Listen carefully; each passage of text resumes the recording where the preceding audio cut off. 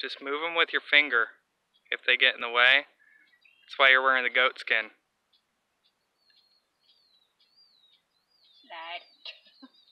And then just go to the next frame.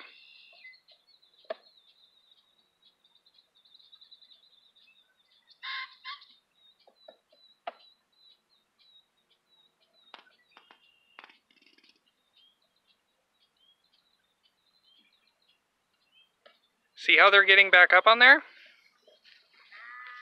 We're going to want to take the smoker and give it a little bit more.